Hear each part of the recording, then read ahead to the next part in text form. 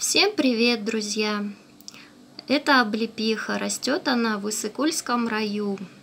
В данном случае это ягодка желто-оранжевого цвета, продолговатенькая, с крупными косточками. Также она бывает и кругленькая, красненькая, зеленого цвета, разная бывает облепиха. Но это вот такая вот красивая, достаточно крупная. Ну, она мелкая ягодка, очень трудно ее собирать поэтому мы ее покупаем. Уже готовую продают в баночках на Иссыкуле. Цены разные, по 150 можно купить, по 200 за литр. Килограмм у нас на Артасайском базаре стоит 300 сомов. Вот такая красивая, сочная, кислая, ароматная ягода. Я ее хорошенько промываю сушу на простыни и потом замораживаю. Из нее зимой делаю варенье, протираю с небольшим количеством сахара. Получается очень ароматная кислая вареница. Очень-очень вкусно с чаем.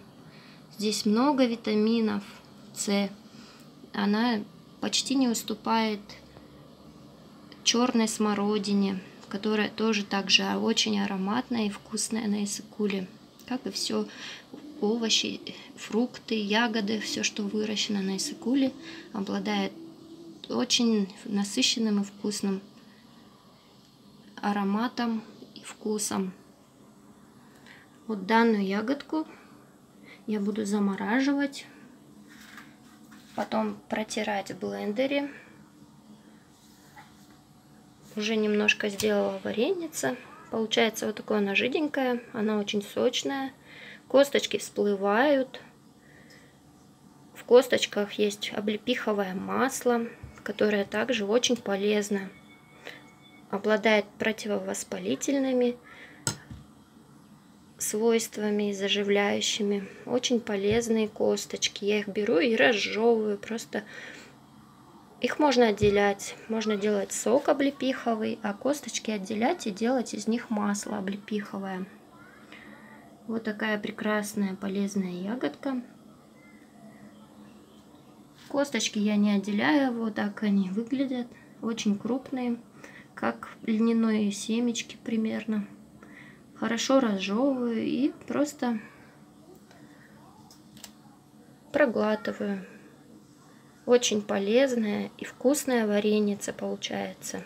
Варить его не нужно, а свежую ягодку перетирать сахаром. Ну, так же, как и клюкву полезно.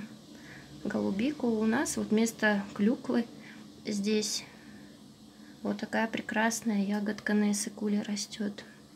Также очень вкусная и смородина, и вишня. И очень полезная.